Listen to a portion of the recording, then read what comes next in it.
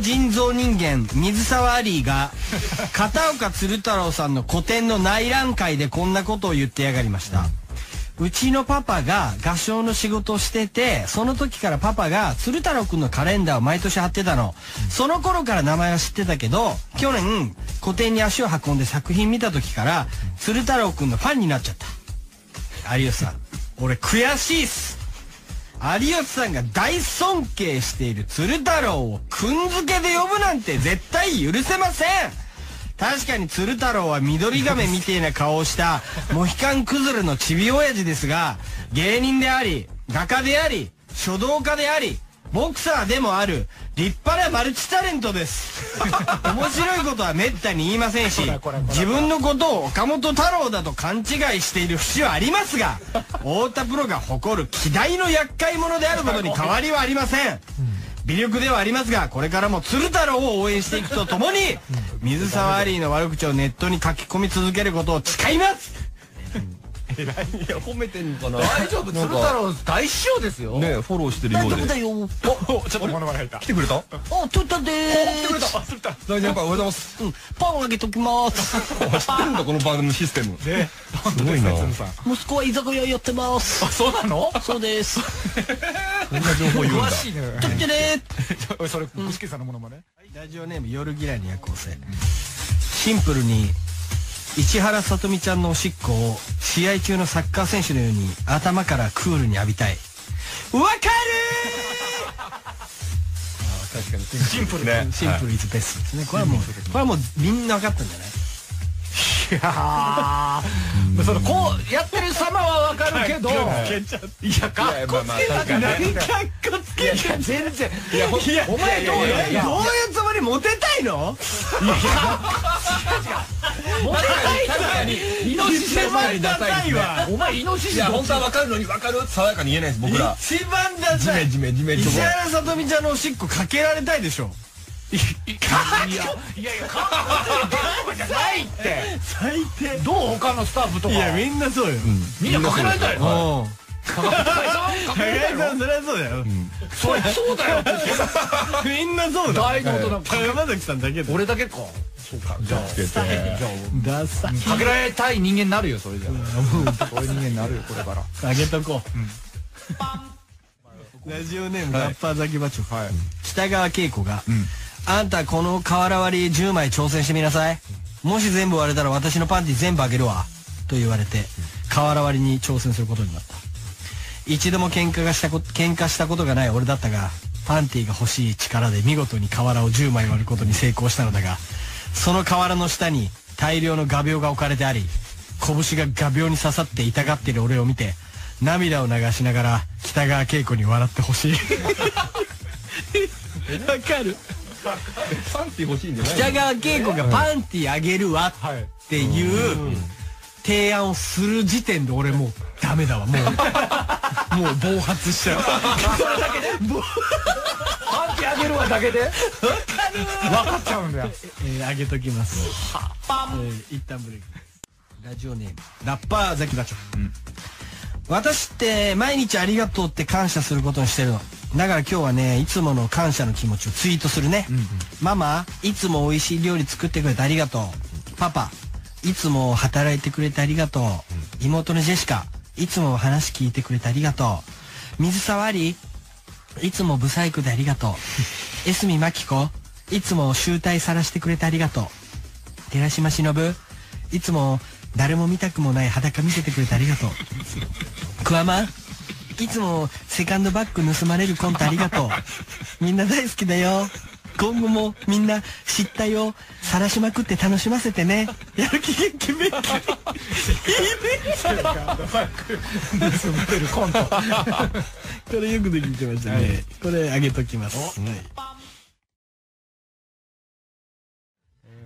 持ってるし。はい木村文乃さんが、ほら撮ってみなよと、いや、木村文乃さん、知ってるわで、あーって言わないでよ、おじさん。ごめんなさい。一番近いリスナーでね分かんなかった木村文乃さんが、ほら、撮ってみなよと、上空3000メートルから脱ぎたてのパンティを落とす。地上にいる俺は双眼鏡を覗いて、風に流される小さく白い布の行方を確かめながら、パンティ、パンテとつぶやき勃起したままどこまでも追いかけていきたい。わかるわ。わかるわかるか。これはわかる。夢があるよね。うわーこれってでもいいね。これ企画できるな。どこで？3000メートルからパンティーパンティーバーッと落として。はい。俺参加したいもん。あと追っかけると。パンティー欲しいかーって福沢明さんに。おいやーウルトラクイズみたいに。うんやりたい。あげとこうこれ。すごいいいわからんな。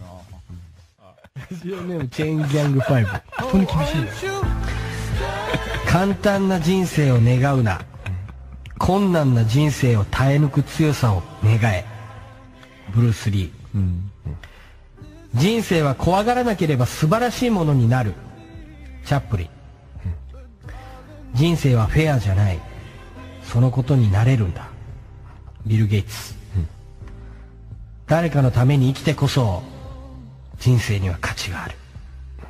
アインシュタイン。皆さん素晴らしい名言ありがとうございます。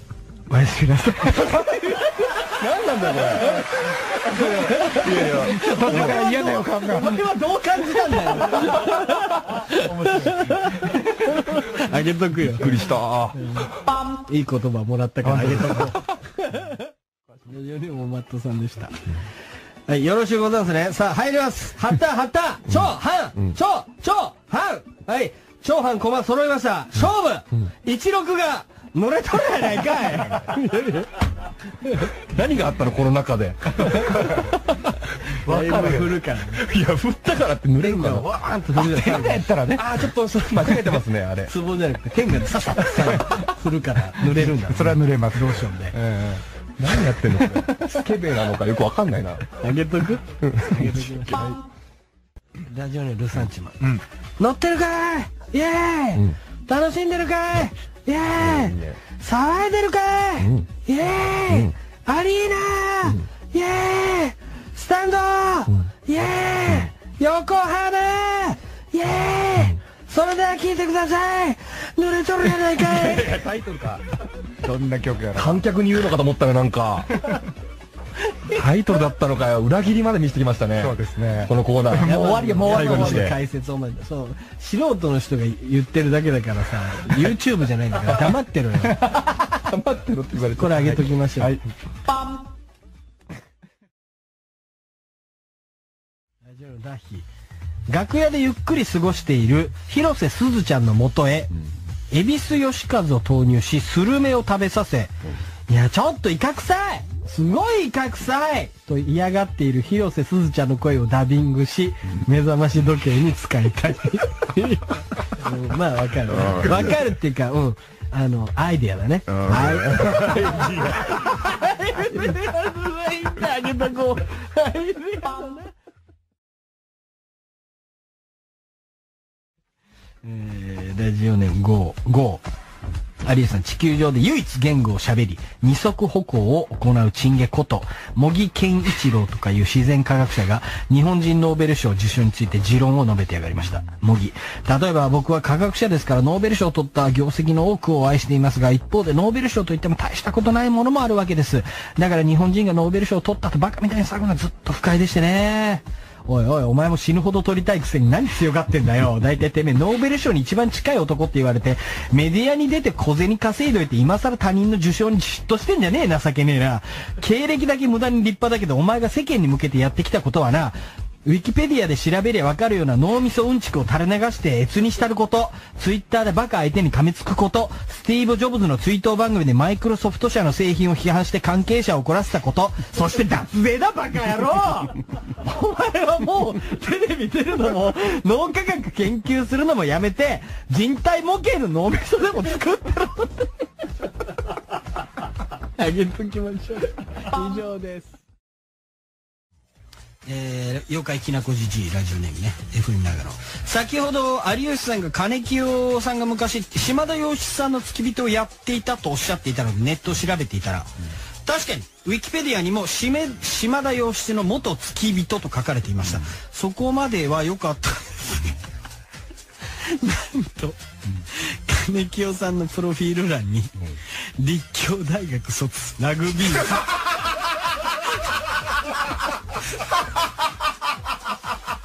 先週の放送では冗談のつもりで聞いていたんですがこれはマジですか？困ったねウィキペディアも。困らせないで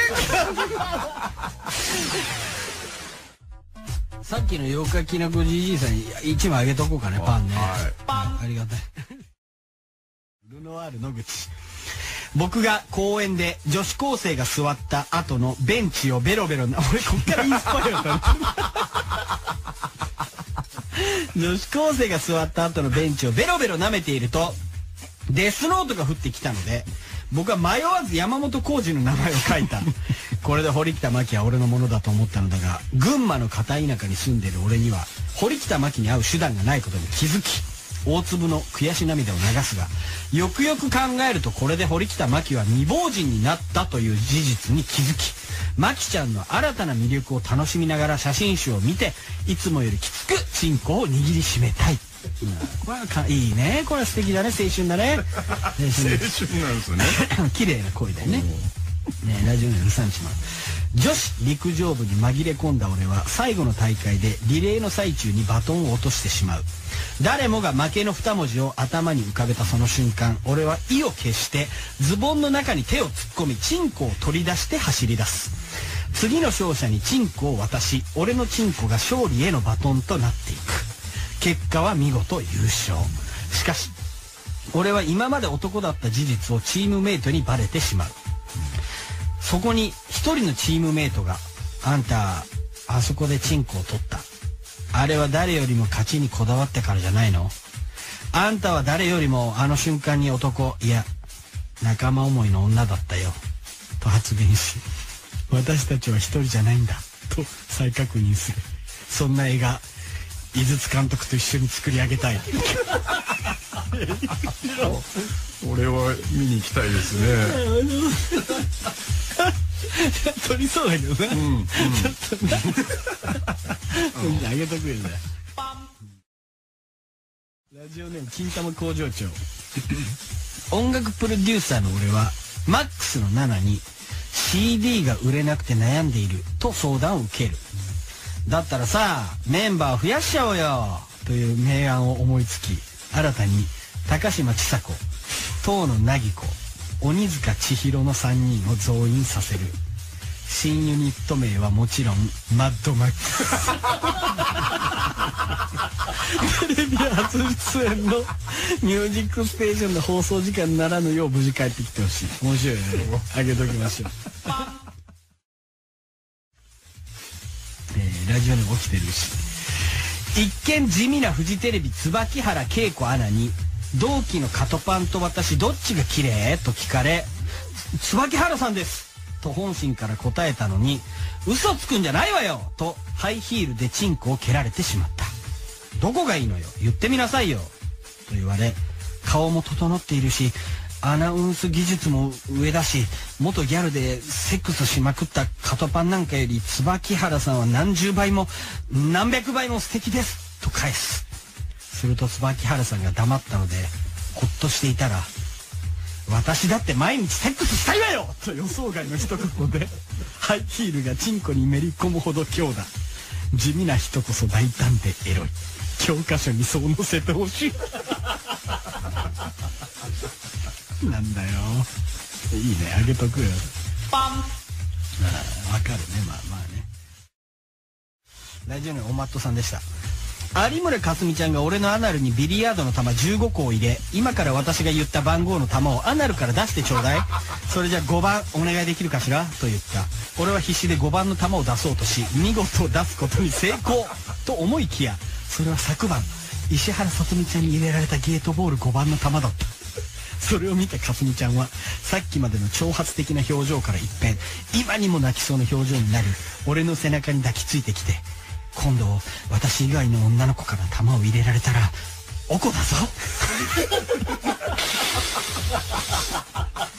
俺はかすみちゃんの手を振りほどきわては誰の男でもあらへん。さすらいの一匹狼やねクールに立ち去りたい。あげとこう。パン以上です。ラジオネームラッパー好きバチュフ。奥さんのお腹に子供ができて俺は父親として今後やっていけるのかずっと心配だった。でもその心配を消してくれた辻希美に感謝したい。親になることの恐怖を感じた俺は母親タレントのブログを読み漁って辻希美のブログを覗いたんだ。そしたら書いてある内容が知性のかけらもないクソ文章。アホみたいについた絵文字。適当にブラブラ遊んでる姿をブログにアップしているのを見てああこんなクソバカが親になれる。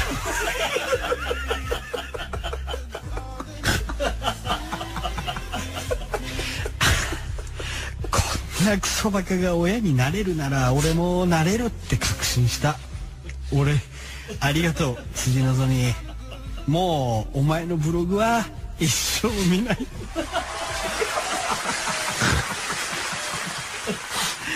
あエンジェルあげときますか。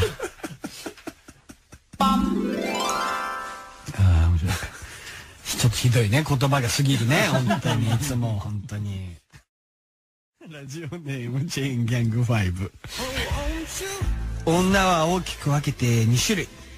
美人かブス。でも地球上にいる男全員が美人。という女性はこの世に存在しない一人の男がブスと言ってしまえば絶世の美女もブスの烙印をされてしまう。逆に言えば地球上の男全員がブスと呼ぶ女性もいない。美人とブスは表裏一体。美人もブスだしブスも美人。だから僕のチンチンを見て包茎じゃない。って言ってくれる女が一人でもいれば祈祷が全く見えなくても包茎ではないんだ。そんな理屈はねえよ。お前は包茎だよ。いけんしろって自分の都合のいいようにあげとくよ。分かったよ。本当に。さあえー、っとね続いてはこの2人がいる時の限定コーナー「あだずのお国自慢」ふるさと言葉でね、お国自慢募集しておりますえー、懐か嬉しいんじゃない？つもう思わず笑みがこぼれてるね平子なんてもう。ふるさと思い出して。いろんな情報をお願いしますね。ラジオネームブラザーフットオブスティール。おーいアディオス。平子金木よ元気か？わすの地元の長野県のこと知りてえだか？こっちはな田舎だけども有名人いっぺいいるだよ、峰竜太に小林邦明。みんな地元のホスだっぺ最近は末吉とかアンバランス山本とかいうのも来てるな、なんだあいつら。そんで食いもんはなぶっといチンポみてえな毛虫捕まえて怒られるよそれを小麦粉練った生地の中に突っ込んだり突っ込んで蒸したり焼いたりして それが信州名物おやきって言うんだよ。これ食えばな頭がキレキレになるだよ。ブレイキングバットだっぺ。あれ薬じゃねえかそれ。何入れてんだよ。え ーそれ食って勢力つけたらな日が暮れる頃に小屋にへ女呼んでなゴザ敷いてつってくれ合うんだよ。そんでもって夜7時にはみんなねっかんな健康だっぺ。そりゃなリオスイたまには県民に顔見せん来いよ。強烈だな田舎っておやき食ってぶっ飛んで。あげとくよ。あー面白いあったかい気持ち。僕でまた長々と言い訳を吐き散らかしていました。以下一部抜粋。えー2014年10月13日に「うち」というアルバムを出してから1年が経つけど5000枚だけしか売れず売ろうとすることももうやめた。だから1万枚売れなかったからみそのはもう CD を発売することはできません。でも自分的には職業が音楽じゃなくなってもありがたいことに、バラエティ、舞台、ミュージカル、ゲームのテーマソングがあったし、今年もまたまた新しくオファーをしてきてくださる人がいたおかげで、ゲームセンターに置かれてるゲームのテーマソングを歌わせてもらえてるし、今では声優、モノマネ、デザイナーをメインに活動できてるだなんて嬉しいです。モノマネ番組も自分で電話してオーディションを受けたし、デザインも全て店員の2人と直接やり取りをしてやらせていただいてるから、事務所に仕事のオファーがあったわけでもなく、会社スタッフにお願いしたわけでもなく、完全にプライベートで自分がお店に直談判しに行ってスタートしたし、うるせえバカ。お前そもそも引退するんじゃなかったのかよ。何新しいオファー受けてきてんだよ。あと事務所通り越して自分で仕事って取ってくるってな、完全にお前事務所の人に仕方されてんじゃねえか。もうやめろ。身内にまで嫌われてんだからもうやめろ。あとな、この間、モノマネ紅白で、高田組のモノマネしてんじゃねえよ。姉ちゃんっておいお前、DL 的、DNA 的に一緒なんだから似てて当たり前だろ、クソバカ。一緒にウォンビーロング歌ってたフッキーさんまで滑ってたじゃねえかよ。出番なくしたノブさんに謝れ、クソバカ野郎って。味方の口調もすごいですけど。いや、悪意言わないです。僕はね、みそのさんとよくお仕事。そう、まあそうですけどね。あげとけ。ラジオネーム三平いっとこうか。有吉さん、高橋克典の太鼓持ちである永井勝さんが、解決エミチャンネルという番組で、とある大物俳優のドケチエピソードを暴露してくれました。京都での撮影後、某大物俳優の方と食事に行って、何でも好きなもの食べなさいって言われたんですよ。それで帰る時にごちそうさまでしたって言おうと思ったら、じゃあ一人5000円もらっていいかなって請求されたんですよ。ケチな大物俳優はあ、わかったぞ、さてはこいつ。鶴太郎だな。よく知らねえけど、なんか4年ぶりの出場が決まった紅白歌合戦での衣装についてこんなことを言ってやがりました。えー今までの演歌ファンと新しい若い子たち、どちらにもえー喜んでもらえる衣装にします。色は、色は原点に戻る意味で白かな。大きいのは鉄板なので小さくはないでしょうね。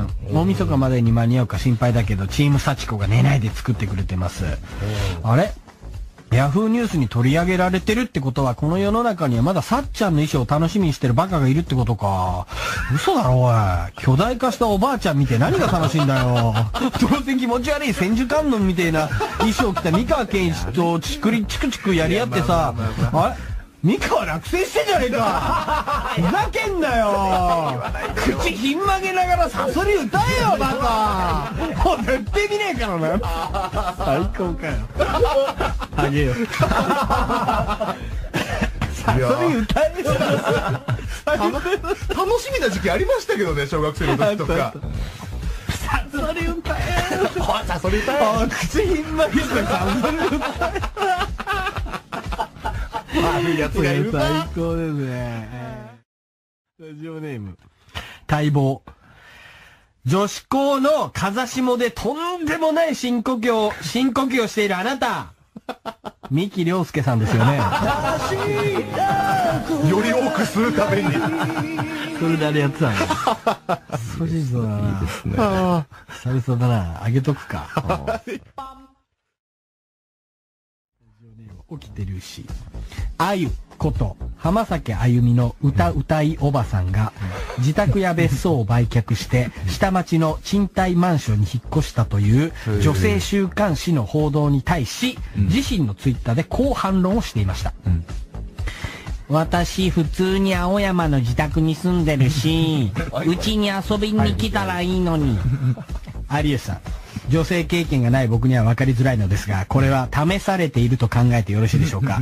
スウェーデン食わぬは男の恥。ビッチの誘いを断るのは童貞の恥です。東京都港区の世帯数は約13万。うち、青山の世帯数は約2万程度。1000人の童貞が集まれば、1日20件のローラー作戦で潰せます。各地、好みの変装で青山墓地にご ご参集ください。花崎さんマンションの近所で青いシャツと帽子を身につけた森末真二風の中肉中背の男がいたら僕です。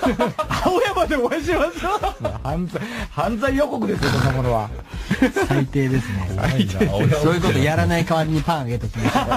約束だぞ。はい。はい。ラジオネーム江野の妹子、教室の掃除当番がゴミ捨てを誰がするとか揉めていたので、いいよやるよって言った俺。10月11日言葉狩り、神である有吉さんが出来の悪い人間である金清の言葉を奪い、少しの言葉を与えた事件。10月11日。分かったボーイ、有吉さんが金清に与えた言葉の中で金清が一番気に入ったやつ。10月18日ユーモア狩り平子が受けていたとされる罰。10月25日。これが千日解放業だ。有吉さんが金清に与えた言葉。11月1日。サンデーナイトラムダッチャ。ハロウィンということで有吉さんがラムちゃんの衣装に生着替えしながら放送。11月8日。金清暴力事件。などなど、えー以上です。今年も最高でした。ということで。ねこの人はまあ、えーエンジェルをあげときますけどね。ね。そうですね。だから今年もやりますかね。だからね。えっとキャラクター祭りでしたかね。人気キャラクター祭り。まあ流行語大賞。まあどっちも混ぜても何でもいいですけども、えーまあ、年末に向けてちょっとやりたいんで。まとまなんかまとめてくださる方はなんとなく思いそろそろ思い出してくださると助かりますけどもねラジオネーム三平。芸能人がたくさん住んでいる町自由が丘を歩いているとマンションの一室から純白のフリルパンティが落ちてきたので慌てて拾い上げるとそこには可愛らしい文字で「マキ」という名前が書かれていた。むむこれは牧大越のパンティに違いないぞ。と直感した俺はマンションを駆け上がり目星をつけた部屋のチャイムを乱打するとネグリジェ姿の淵立真紀子氏が 醜い顔を出しわしがこんな可愛いパンティ履いてること誰にも言うんじゃねえぞと叫びながら喉輪で窓際まで追いやられたのだが間一髪のところで体をひねり起死回生のうっちゃりで大金星を飾りたい。できることならねやぐら投げで叩きつけてやってほしい。すごかったですね。あげときましょうかマキって書いてるの口立てさんパンラジオネームラッパーザキバチョ。フ日本刀の切れ味を試させてほしいと言ってきた北川景子にさすがに日本刀で切られたら俺死んじゃいますよ。と懇願したが北川景子は俺の意思に反し日本刀で俺の首をかっ切って体も毛先切りで切っていったが何度金玉を切っても切っても壊れず北川景子がどうしてこの金玉だけは切れないの焦っていたので。オファーがあったわけでもなく会社スタッフにお願いしたわけでもなく完全にプライベートで自分がお店に直談判しに行ってスタートしたしうるせえバカ！お前そもそも引退するんじゃなかったのかよ！何新しいオファー受けてきてんだよ！あと事務所通り越して自分で仕事って取ってくるってな完全にお前事務所の人に仕方されてんじゃねえか。もうやめろ。身内にまで嫌われてんだからもうやめろ。あとなこの間モノマネ紅白で倖田來未のモノマネしてんじゃねえよ。姉ちゃんっておいお前 DL 的 DNA 的に一緒なんだから似てて当たり前だろクソバカ。一緒にウォンビーロング歌ってたフッキーさんまで滑ってたじゃねえか出番なくしたノブさんに謝れクソバカ野郎って。味方の口調もすごいですけどいや悪意言わないです。僕はね さんとよくお仕事。そうまあそうですけどね。あげときラジオネーム三平言っとこうか。有吉さん、高橋克典の太鼓持ちである永井勝さんが、解決エミチャンネルという番組で、とある大物俳優のドケチエピソードを暴露してくれました。京都での撮影後、某大物俳優の方と食事に行って、何でも好きなもの食べなさいって言われたんですよ。それで帰る時にごちそうさまでしたって言おうと思ったら、じゃあ一人5000円もらっていいかな？って請求されたんですよ。ケチな大物俳優はあ、わかったぞ、さてはこいつ。鶴太郎だな。よく知らねえけど、なんかあいつすげえケチそうだもんな。最近じゃ変なばっか、変な絵ばっか描いて全然働いてねえしな。そのくせ見え張って高級ギャラリーで個展とかやってっから貯金ゼロなんじゃねえか？ああいうだよ、チビでハゲでケチとか最低だな。待てよ、そういえばあいつ、大物でも俳優でもねえな。すいません間違えました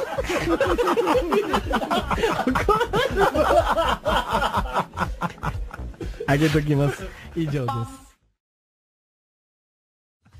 ラジオネーム謎解きポテト。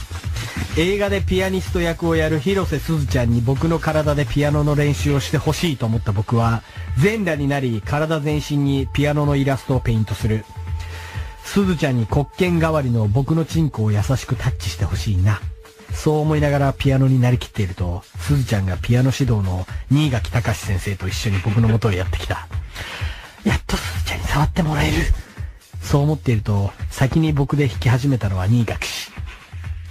なんでこんな薄汚れたじじにチンコ触られなきゃいけないんだよそう思いながら、新垣氏の優しいタッチで、これまでにない快感、味わい、射精したい。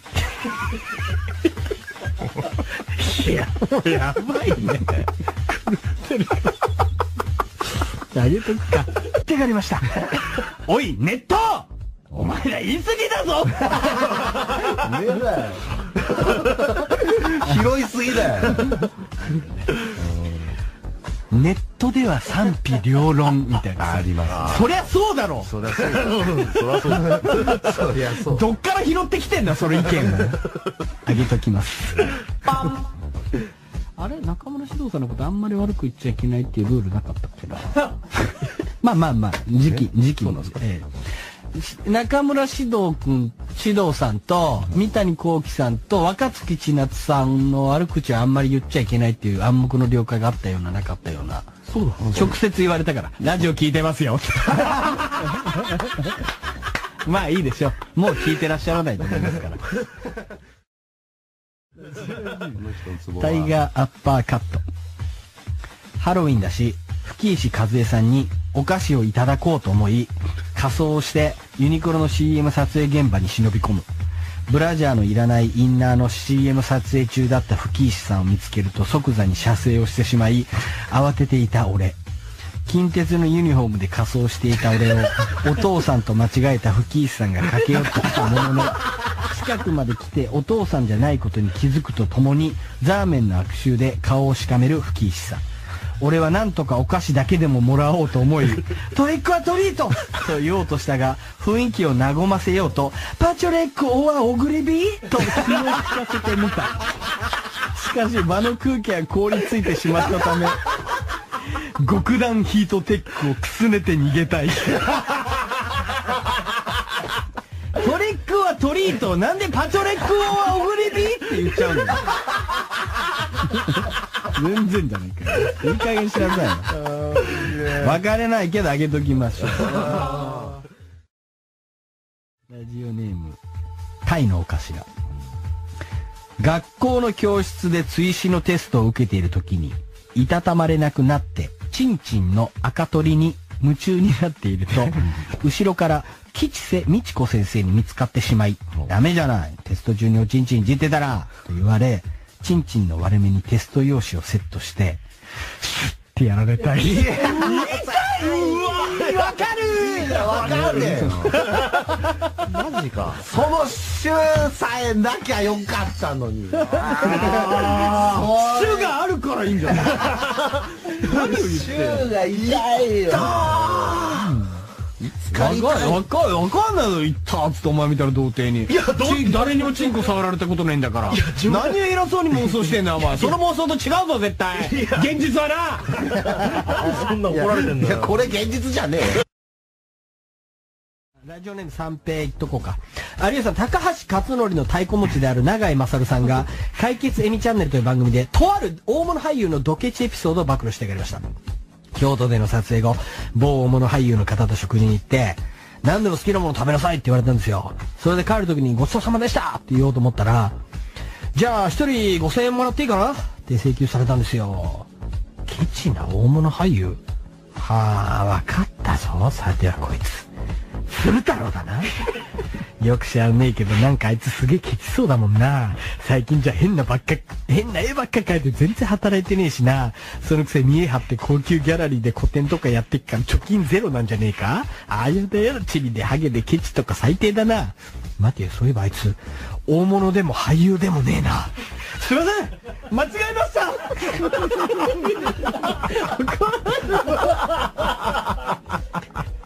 あげときます。以上です。ラジオネーム謎解きポテト。映画でピアニスト役をやる広瀬すずちゃんに僕の体でピアノの練習をしてほしいと思った僕は、全裸になり体全身にピアノのイラストをペイントする。すずちゃんに黒剣代わりの僕のチンコを優しくタッチしてほしいな。そう思いながらピアノになりきっていると、すずちゃんがピアノ指導の新垣隆先生と一緒に僕の元へやってきた。やっとすずちゃんに触ってもらえる。そう思っていると、先に僕で弾き始めたのは新垣氏。なんでこんな薄汚れたじじんチンコ触られなきゃいけないんだよそう思いながら、新垣氏の優しいタッチで、これまでにない快感、味わい、射精したい。いや、もうやばいね。狂ってる。あげとくか。まあ、しょうがない、あげとこう。かわいそうだから、かわいそうだからあげとくわ。せめてね。ラジオネーム三平。チンポ。今までごめんごめん。ちょっと、すいません。ごめんなさい。ラジオネーム三平。チンポ。今まで、ありがとな。思い起こせば7歳の春。校庭の登り棒を登っている時なんだか股間がムズムズしてあれ？チンポをこすると気持ちいいかもしれないぞ。と気づいたんだ。それから30年間俺は悪魔のようにお前をいじり倒し血が出るまでしごき倒してきた。お前の相手はいつだって俺の汚い右手だけだったよなお前は？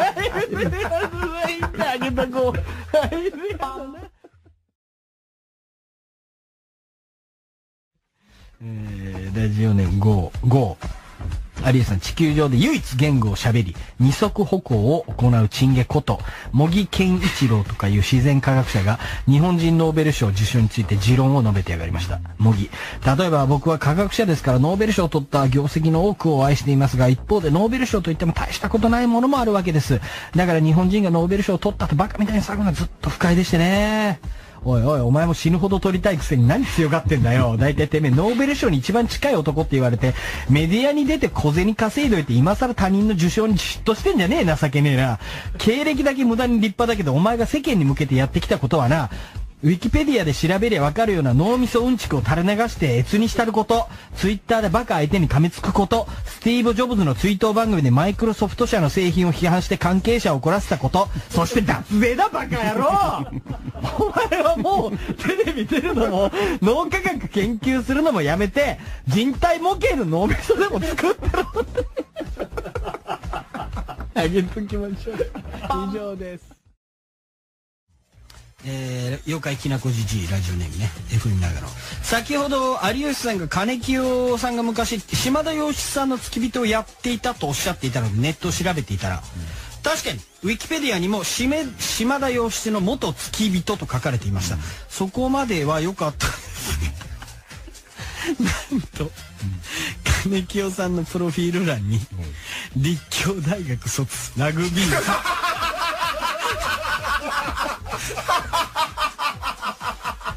先週の放送では冗談のつもりで聞いていたんですがこれはマジですか？これは。困ったねウィキペディアも。困らせないで。さっきの妖怪きなこじじいさんに1枚あげとこうかねパンね、ありがたい。ルノワール野口僕が公園で女子高生が座った後のベンチをベロベロな 俺こっからインスパイアだった 女子高生が座った後のベンチをベロベロ舐めているとデスノートが降ってきたので僕は迷わず山本浩二の名前を書いた。これで堀北真希は俺のものだと思ったのだが群馬の片田舎に住んでる俺には堀北真希に会う手段がないことに気づき大粒の悔し涙を流すがよくよく考えるとこれで堀北真希は未亡人になったという事実に気づき真希ちゃんの新たな魅力を楽しみながら写真集を見ていつもよりきつくチンコを握りしめたい。これはかいいね。これは素敵だね。青春だね。青春。青春なんですよね。綺麗な声で。した。って言おうと思ったらじゃあ一人5000円もらっていいかな？って請求されたんですよ。ケチな大物俳優はあ分かったぞさてはこいつ鶴太郎だな。よく知らねえけどなんかあいつすげえケチそうだもんな。最近じゃ変なばっか変な絵ばっか描いて全然働いてねえしな。そのくせ見え張って高級ギャラリーで個展とかやってっから貯金ゼロなんじゃねえか。ああいうだよチビでハゲでケチとか最低だな。待てよそういえばあいつ大物でも俳優でもねえな。すいません。間違えました。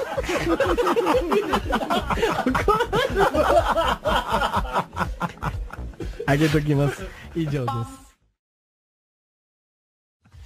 ラジオネーム謎解きポテト。映画でピアニスト役をやる広瀬すずちゃんに僕の体でピアノの練習をしてほしいと思った僕は全裸になり体全身にピアノのイラストをペイントするすずちゃんに黒剣代わりの僕のチンコを優しくタッチしてほしいなそう思いながらピアノになりきっていると、すずちゃんがピアノ指導の新垣隆先生と一緒に僕の元へやってきた。やっとすずちゃんに触ってもらえる。そう思っていると、先に僕で弾き始めたのは新垣氏。なんでこんな薄汚れたじじにチンコ触られなきゃいけないんだよそう思いながら、新垣氏の優しいタッチで、これまでにない快感、味わい、射精したい。いや、もうやばいね。狂ってる。あげとくか。まあ、しょうがない、あげとこう。かわいそうだから、かわいそうだからあげとくわ。せめてねラジオネーム三平。チンポ。今まで。ちょっとすいません。ごめんなさい。ラジオネーム三平。チンポ。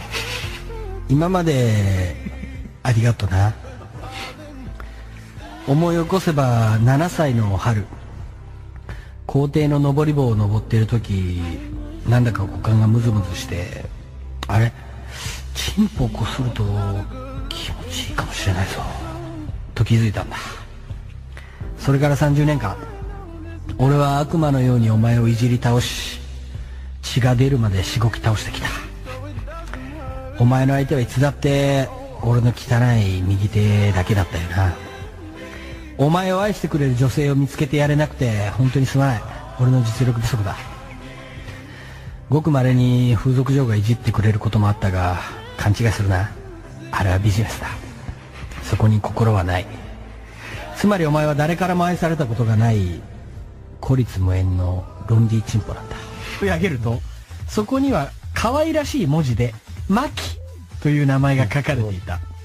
むむ、これは、牧大越のパンティに違いないぞと直感した俺はマンションを駆け上がり、目星をつけた部屋のチャイムを乱打すると、ネグリジェ姿の内館牧子氏が 醜い顔を出し、わしがこんな可愛いパンティ履いてること誰にも言うんじゃねえぞと叫びながら、喉輪で窓際まで追いやられたのだが、間一髪のところで体をひねり、起死回生のうっちゃりで、大金星を飾りたい。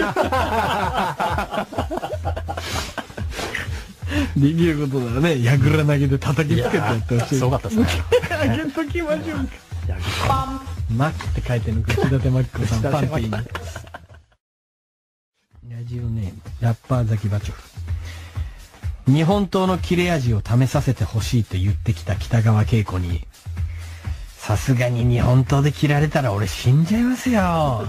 と懇願したが、北川景子は俺の意思に反し、日本刀で俺の首をかっ切って、体も毛先切りで切っていったが、何度金玉を切っても切っても壊れず、北川景子が、どうしてこの金玉だけは切れないのと焦っていたので、生首状態の俺は、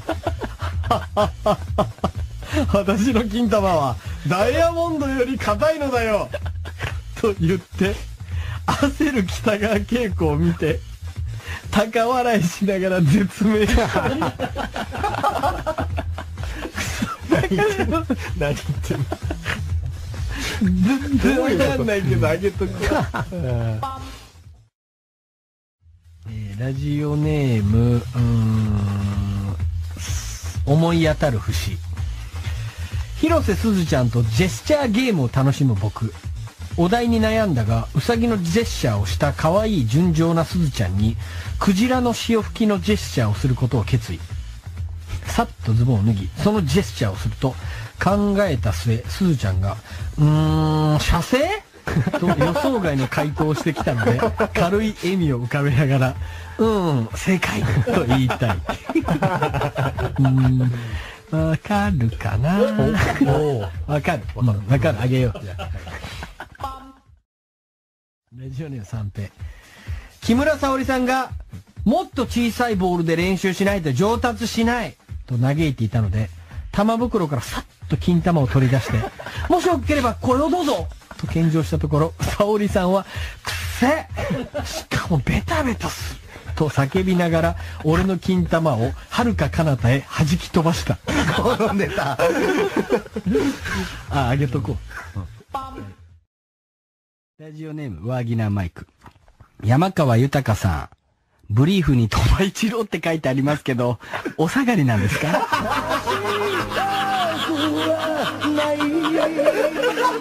いや、もう60とか、下手したらもう70ぐらいの、60ぐらいの兄弟で、なんでパンツを、すごい兄弟船。すごい兄弟だな。いいね、あげとく？はい。ラジオネームラッパーザキバチョフ。千葉吉兆のおかみさん、行くときは、頭が真っ白になる。って言うって本当ですか？したくない。のよ。頭が真っ白だ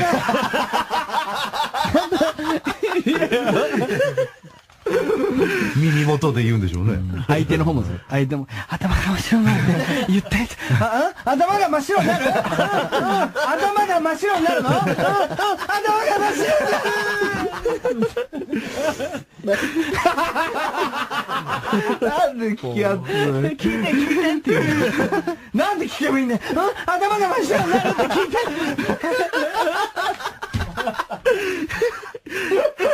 あげときます。満腹亭なり。学校へ行こうに感化された俺は、全国全校集会中に屋上から全裸で叫ぶことにした。僕には、好きな人がいますと全裸で叫ぶと、全校生徒が大盛り上がり。僕の好きな人は、2年3組の、広瀬すと言ったところで、俺の脳天を弓矢が貫く。向かいのビルの屋上には、広瀬アリスちゃんが弓を持って笑みを浮かべて立っている。響き渡るカーペンターズのイエスタデーワンスモアを聞きながら、V6 の三宅くんの胸の中で深い眠りにつき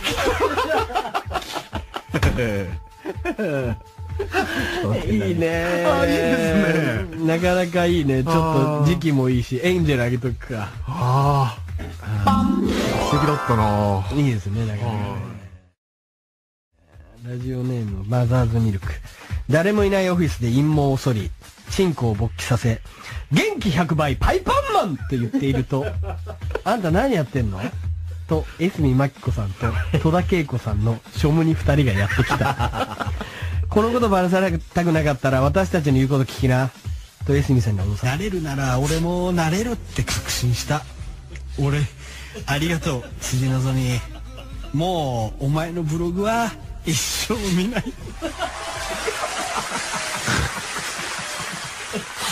あーエンジェルあげときますか。ああ面白いちょっひどいね、言葉が過ぎるね、本当に、いつも、本当に。ラジオネーム、チェーンギャング5。女は大きく分けて2種類。美人かブス。でも、地球上にいる男全員が美人。という女性はこの世に存在しない。一人の男がブスと言ってしまえば、絶世の美女もブスの烙印をされてしまう。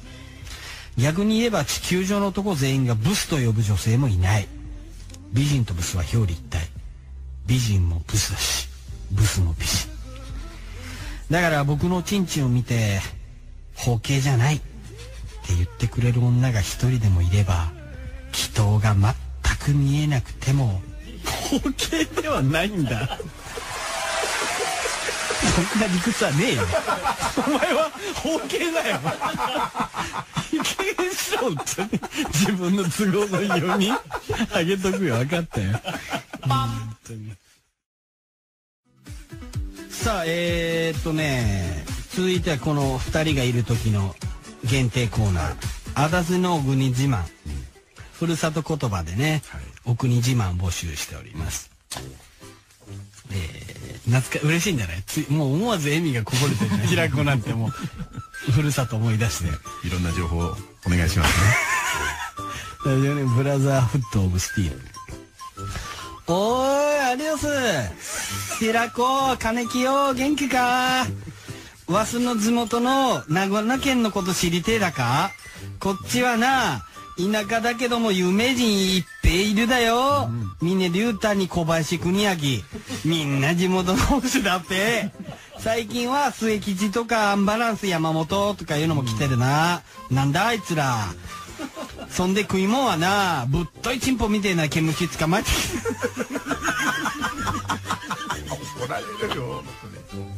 それを小麦粉練った生地の中に突っ込んだり、突っ込んで蒸したり焼いたりして それが信州名物おやきって言うんだよ。これ食えばな頭がキレキレになるだよ。ブレーキングバットだっぺ。悪い薬じゃねえかそれ。何入れてんだよ。えー、それ食ってせっかくのかパン。バカだね。バカな情報しかなかったまともな部分一回も来ない一貫してましたねねもうマットさんでした。滝川クリステルさんが次のニュースに移ろうと斜め上のカメラを見るとそこにあったのはギンギンにフル勃起した俺のチンコ。思わぬ事態に今日疲れ。続いてのチンコです。出現してしまい顔が赤面。そんな滝川クリステルさんを見て射精しテーブルの上の原稿用紙をザーメンで台無しにしたい。わかる。すごいな。わかる。わかる。わかる俺絶対わかんなかったけどわかるのかこれ負けとこう、はい、ああラジオネーム三平こんな素敵な場所でマジな話をするのはどうかと思うけど少しだけ喋らせてほしい。府中の町コンで知り合った自称元ファッションモデルの美香さんへ。君は自分のことを美魔女だと思い込んでるみたいだけど、うん、ものすごくブスなおばさんだ。最初に君を見た時餓死寸前のオットセイが餌を探すために上陸したのかと思ったよ。そのくせ君は年収800万以下の男は婚活しちゃダメ。服のセンスがない男は生き方もダサいだの。元彼がバラエティ番組のプロデューサーだったから笑いにはうるさいだの。胸くそ悪い発言を連発した挙句この僕に向かってあんたはこういう場所に来ていい人間じゃない。とかほざきやがったよね。あの場ではニヤニヤして黙ってたけど僕の腹渡は大正圏のスープより煮えくり返ってるからね。君が積極的にすり寄って電話番号を交換してた自称歯医者の男いただろ彼はね僕の友達の中でも一番ニート歴が長い最低のクソ野郎なんだよ。歯医者さんだけあってオーラに品がありますよねだっけ。笑わせるよね。肩書きしか見えない節穴で僕の顔面酷評しやがって。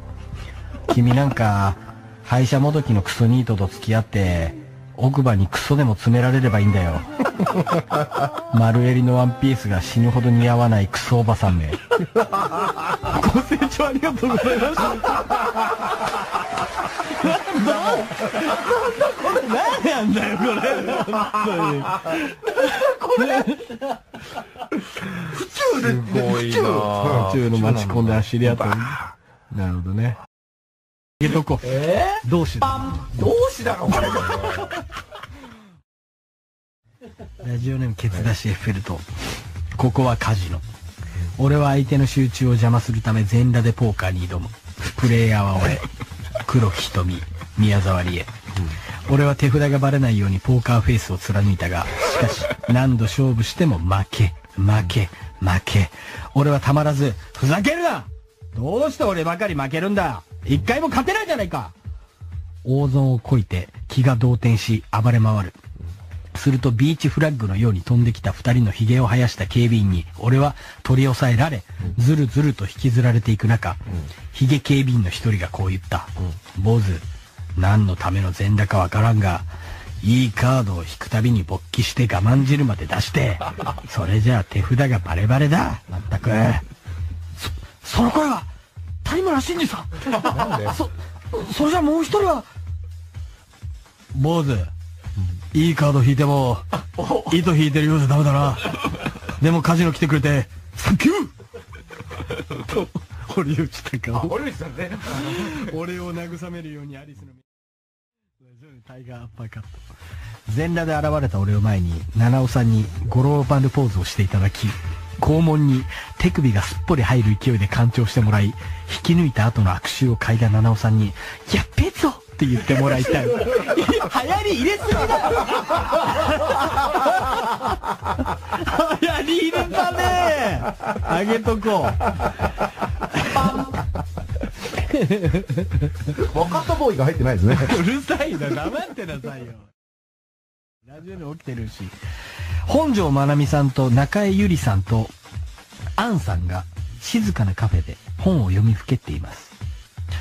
本の途中にお気に入りの箇所があると、彼女たちは彼女たちは全裸になった俺のチンゲを引きちぎり、付箋の代わりにページに挟み込んでいくのです。読書好きな彼女彼女たちのことですから夢中になって一度に思わず4、5本むしり取ってしまうことも。あ、あ、アンさんの爪が玉袋に刺さりました。パイパンになったところで今日の読書は終了。股間のヒリヒリした感触と本の余韻に浸って、そっとチンコをしごきたい。文学的だな。ちょっとなんか、赤毛のアンのようなね。なんかちょっとカナダの島の光景が思い浮かぶような。ちょっとこれいいね。文学的だね。そうですね。うんなかなかいいじゃない。あげときましょう。えーラジオネームおまっとさんでした。有森優子さんが、今からあなたのチンコしごカーボローディング。トライアスロン1週間前から炭水化物を摂取しない行為のことでございますね。ね4月26日、おちんこドローンおじさん。世田谷界隈で、おちんこをドローンと見せてくるおじさんのこと。首相官邸に落ちたドローンとは何の関係もなし。5月3日、パッキャオ建設。地元のパッキャオ先輩が経営する建設会社。ラジオネーム、もうラジオネームって呼んじゃうな、すぐすぐ。5月10日。えー今年のベストマザー賞は、世界中のお母さんです。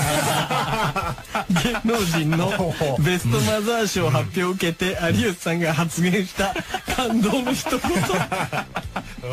愛がある。5月10日下手の番人太田プロライブで舞台横下手に居座る杉さんのこと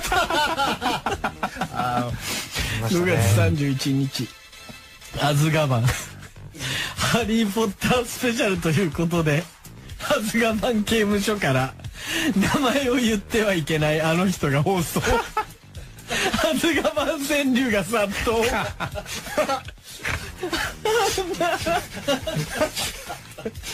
ああこういうこと言ったらディメンターがなんか飛んでるなそらディメンターたちが今空飛んで考えるけど、えー、6月21日マッドマックス戦糞尿をまき散らす電車が走る路線のこと。上りのマッドマックス戦最強だから。ラジオネーム。笑っちゃってくだらない。ラジオネーム。ラジオネームって言っちゃうすぐ。7月5日、うん、ナッシングにしよう有吉さんが目撃した外資系の男が使っていた言葉。そうだそうだ7月19日牡蠣のドロッとしたような。新国立競技場デザインを揶揄した森首相の言葉8月30日ダヨナー9月6日焼きごて。焼きごてを当てられ過激な記事を書くことを強要されているネッ ネット記者たちの実態を有吉さんが暴露、うん、えー、9月13日皮膚水。足の皮膚を入れた水にポジティブな気を送ることで作られる水。見た目はスノードームのよう。10月11日言葉狩り、うん、神である有吉、ねえー、次3月8日。えー、口に出すのもはばかられるような人間 サンドリのアシスタント連中のこと。僕がまあ総称してこうこれよっぽどのことです。まあまあまあまあ分からでもないですね、えー、ラジオネームまあ言ったか、えー、3月22日ですね。田村正和のリバーサイドホテル発熱中の有吉さんが田村正和のモノマネをし始め 番組名がリバーサイドホテルに変更。田村田村の金銭に触れるとクロワッサンがもらえる。意味が分かんないですね。意味が全然完全に風の影響ですねそれ、えー、ラジえー、4月5日、うん、えー、ベンジャミン・ウィリアムス西内博之トライアスロンのトップ選手野地さんがねこの二人のサインをもらってくると力強く宣言して それで結局ベンジャミン・ウィリアムズさんのことがよく分かんなくてああいうベンジャミンだ質問したってなりましたえー、4月12日カーボローディング。トライアスロン1週間前から炭水化物を摂取しない行為のことでございますね。4月26日。おちんこドローンおじさん。世田谷界隈でおちんこをドローンと見せてくるおじさんのこと。首相官邸に落ちたドローンとは何の関係もなし。5月3日。パッキャオ建設。地元のパッキャオ先輩が経営する建設会社。ラジオネームもうラジオネームって呼んじゃいなす。ぐすぐ。5月10日、えー、今年のベストマザー賞は世界中のお母さんです。芸能人のベストマザー賞発表を受けて有吉さんが発言した感動の一言。愛がある、5月10日。下手の番人。太田プロライブで舞台横下手に居座る杉さんのこと。5月31日。アズガバン。ハリー・ポッタースペシャルということでアズガバン刑務所から名前を言ってはいけないあの人が放送アズガバン川柳が殺到。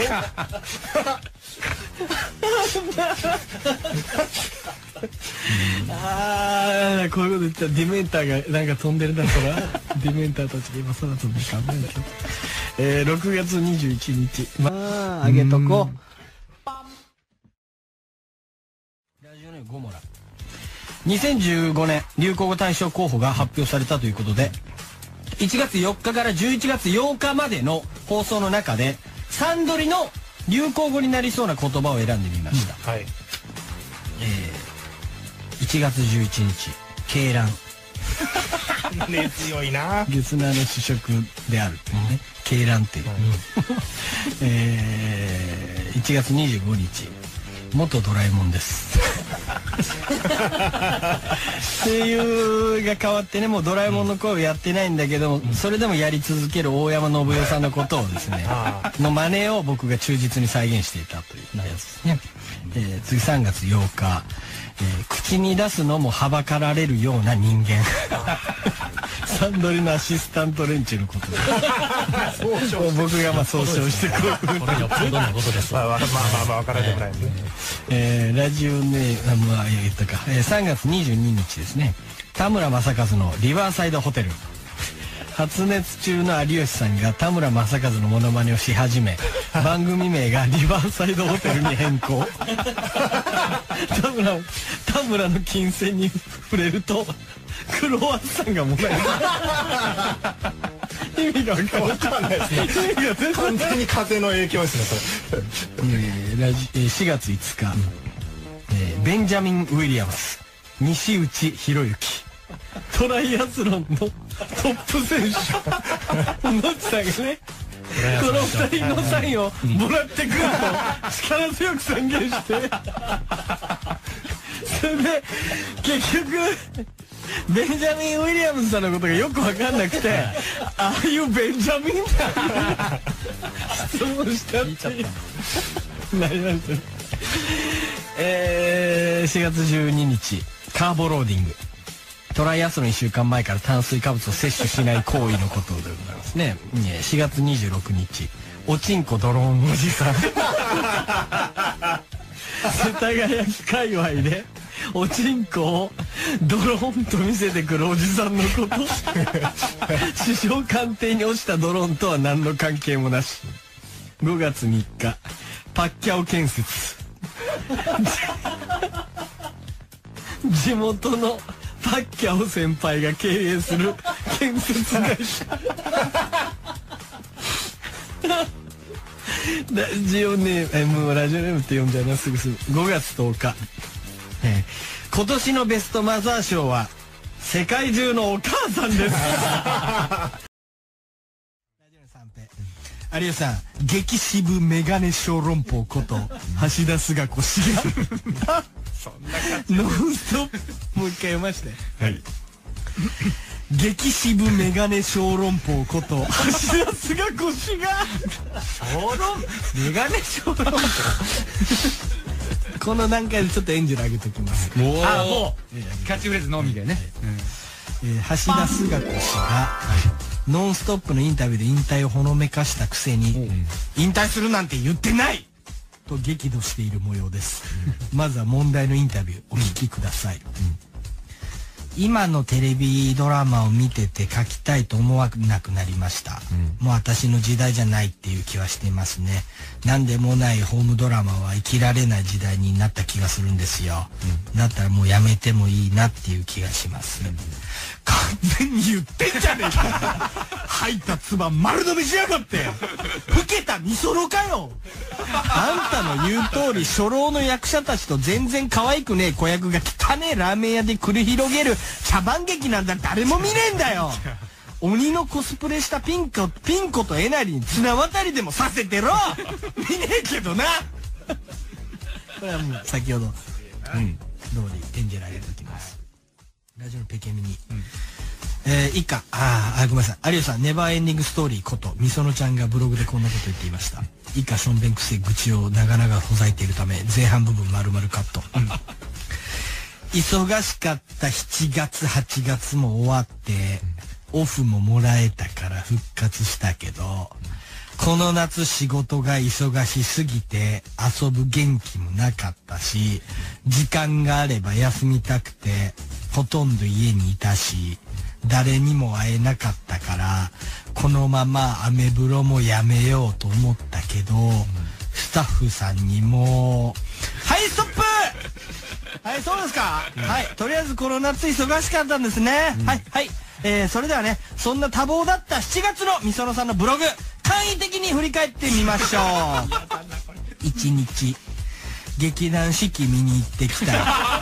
楽しかった2日親友の藤井里奈の誕生会その後みんなでご飯楽しかった。4日。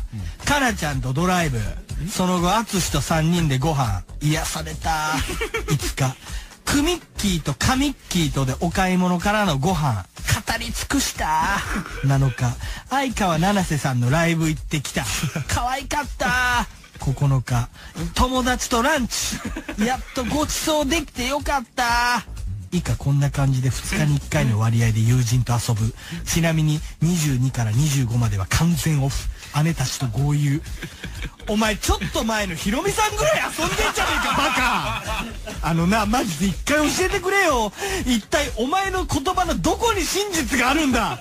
これでも休みてえならとっとと引退してニートやれ。バカ野郎。ええなこれは。すごいな。これも上げときましょうすごいですね。すごいですね。ヨーロッパ感覚でなるほどね。ししっかり休みたいはいラジオネームダヒ。金玉袋に八王子実践という鉢巻きをして街中を歩いていると遠くから大林素子さんが近寄ってきて「何何これ君面白いね」と2回以上触ってきたのでだだダブルコンタクトという 覚えたてのバネ用語を使い木村沙織ちゃんにアピールしたいよそういうことだ意味が全然わからないけど。ダブルコンタクト面白いからあげと面白いですね。木村沙織ちゃんには。あげときます、えー、ラジオネーム。あそうか。ポンポン。ポンパン。パン、タン。の出ないですね。パンパン。あげますラジオ三平これは本当に分かってもらえる話だと思うが牧陽子さんにマウントポジションを取っていただき素手で全ての陰謀を引っこ抜かれ引きちぎった陰謀を腹の上で燃やされながらクズの陰謀は燃えるのが遅いんだね。お前のせいで次の仕事に間に合わないじゃないかなどめちゃくちゃなイチャモンをつけられて謝りたい。わかる分かったな。ーもう王道中の王道です。女置きに来たね。置きに来た。置きに来たよ。陰謀突って俺をもうしっかり行かせに来たよ。いやそれローション使っちゃダメでしょみたいな。それいやそれローション使ったらそりゃそうでしょっていう。そりゃダメよ みたいな。これはもう完璧。これはもう一本取られた。わかんないなわかんないけどね。これあげときます。はいい。けるかな？いけるか。今日今日出ないですねあんまりねラジオのラッパーザキバチョフ聞く力がすごいという阿川佐和子に10代しか聞こえないというモスキート音を流したら全く聞き取れず。おめえの聞く聞く力大したことねえじゃんと笑ったら怒った阿川佐和子が聞く力って聴力のことを言ってるんじゃないわよ！と言って俺の腕に腕ひしぎ十字固めをかけて腕におっぱいの感触を感じガチガチにフルボッキーした。いわかるー！あげときます。以上です。希望の船。満島ひかりさんがお月見をしながら団子をむしゃむしゃ食べていたので僕はバレないように団子の山に金玉を乗せるそして数分後僕の金玉を手に取った満島さんが「あれ？この団子だけやけに重いわね」と言い僕の体ごと金玉をズルズルと引っ張って金玉が満島さんの口に入る直前金玉の上にあるチンコが満島さんの鼻に触れた。その瞬間この団子が金玉であることに気づいた満島さんと気づかれた僕の頬が同時に赤く染まってほしい。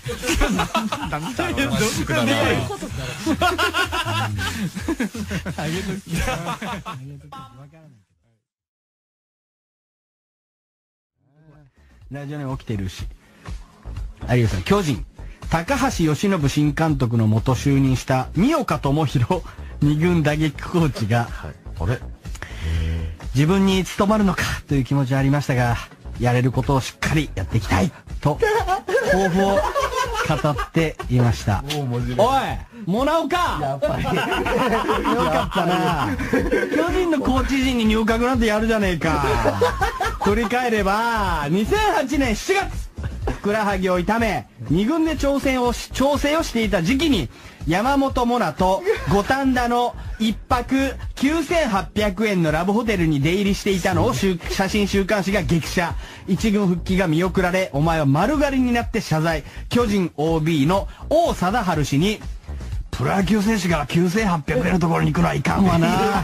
と言われたのか？ネットでは。言わねえ普段東京ドームを利用している二岡がコンドームを利用と書かれたんだよな。巨人ではモナオカ引っ込めと罵られ移籍した日ハムではようこそモナオカと笑われゲスナーは応援してるぞ。頑張れモナオカ。最後に一言だけ。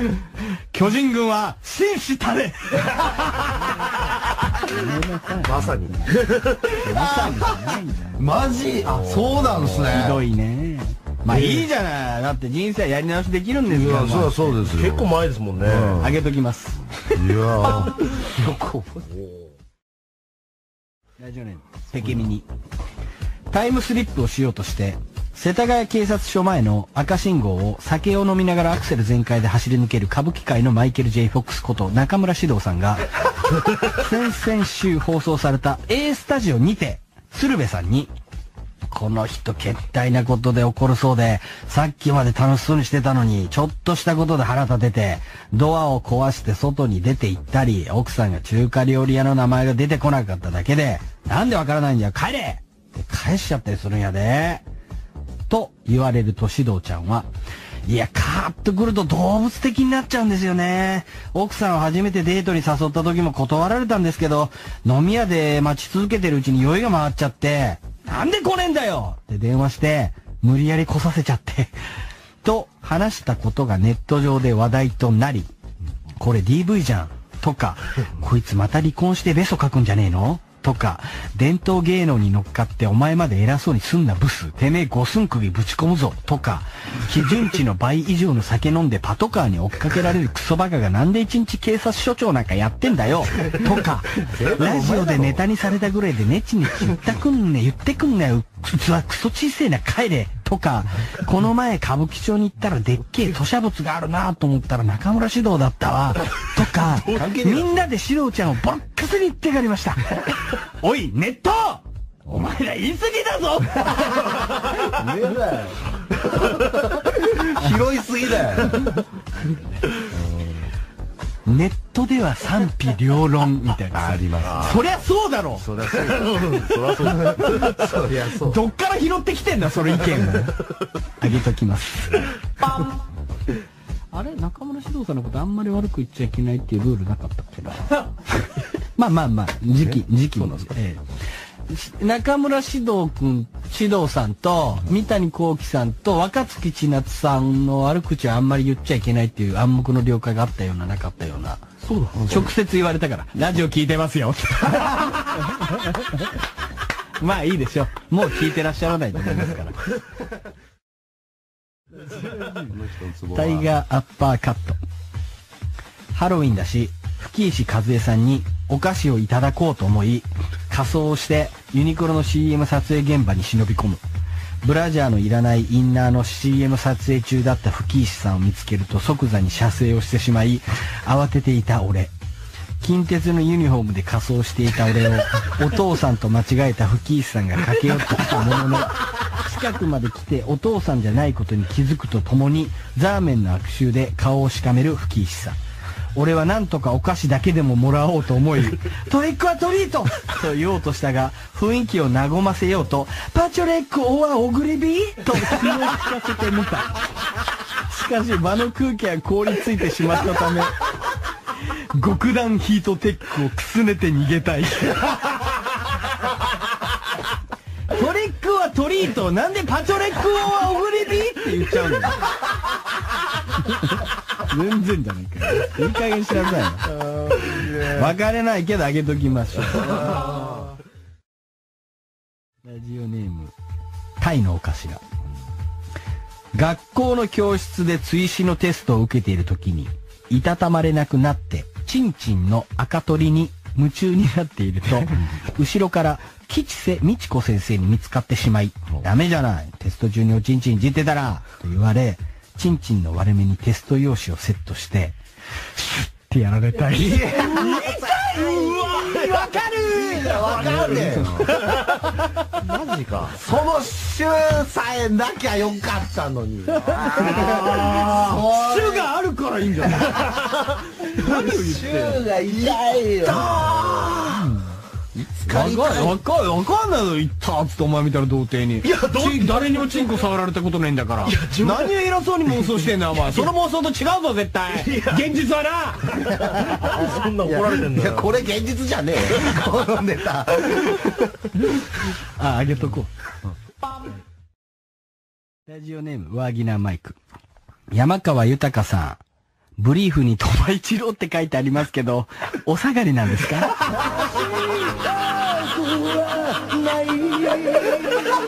いや、もう60とか下手したらもう70ぐらいの、60ぐらいの兄弟で、なんでパンツを、すごい兄弟船すごい兄弟だな。いいね、あげとく？はい。ラジオネームラッパーザキバチョフ。千葉吉兆のおかみさん。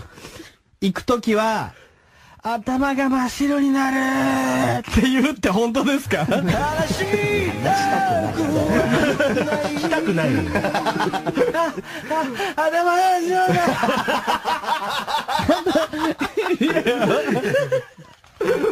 耳元で言うんでしょうね。相手の方もそう。相手も、頭が真っ白になるって言って。ああ頭が真っ白になる？頭が真っ白になるの？頭が真っ白にななんで聞きやつる聞いて聞いてっていう。なんで聞けばいいんだよ。あ頭が真っ白になるって聞いて。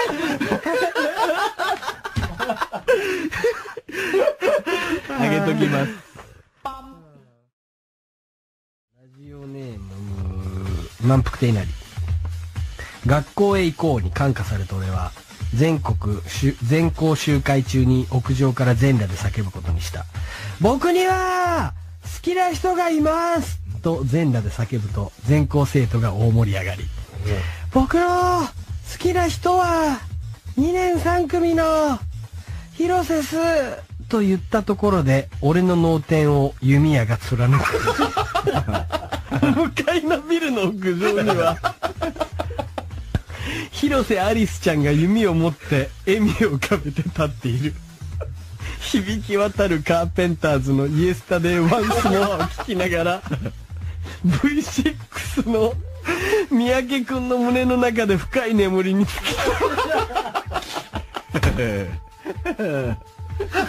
いいね。い。いですね。なかなかいいね。ちょっと時期もいいしエンジェルあげとくか。ああ素敵だったな。いいですねなかなかね。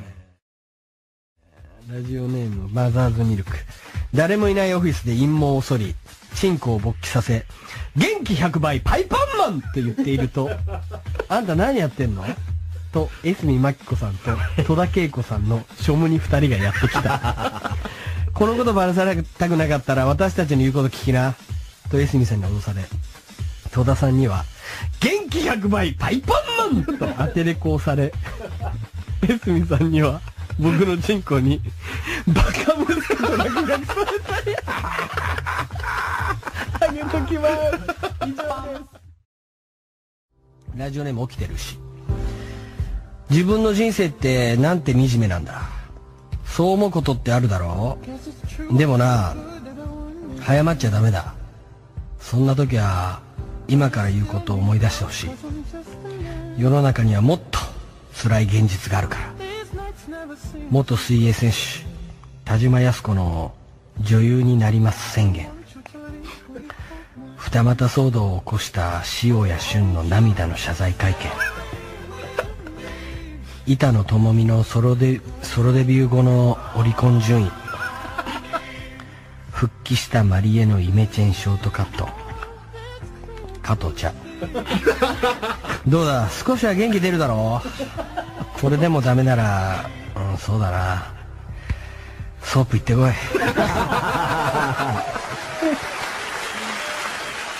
気出るな魔法の言葉ってこんなにあるんですね。なあげとこラジオネームゴモラ2015年流行語大賞候補が発表されたということで1月4日から11月8日までの放送の中でサンドリの流行語になりそうな言葉を選んでみました、はい。1月11日鶏卵根強いな。リスナーの主食であるというね鶏卵っていう、えー1月25日元ドラえもんです。声優が変わってねもうドラえもんの声をやってないんだけど、それでもやり続ける大山信代さんのことをですねの真似を僕が忠実に再現していたというやつですね、えー次3月8日、えー口に出すのもはばかられるような人間。サンドリのアシスタント連中のこと。で僕がまあ総称してこうこれよっぽどのことですまあまあまあまあ分からんでもないですね。えーラジオネームまあ言ったか、えー3月22日ですね。田村正和のリバーサイドホテル発熱中の有吉さんが田村正和のモノマネをし始め 番組名がリバーサイドホテルに変更。田村田村の金銭に触れるとクロワッサンがもらえる。意味が分かんないですね。意味が全然完全に風の影響ですね。それえーラジえー4月5日、えーベンジャミン・ウィリアムス。西内博之トライアスロンのトップ選手野地さんがねこの二人のサインをもらってくると力強く宣言して。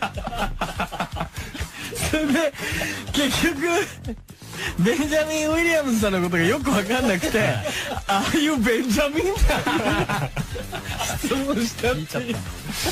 なりましたねえー、4月12日カーボローディングトライアスロン1週間前から炭水化物を摂取しない行為のことでございますね。4月26日。おちんこドローンおじさん。世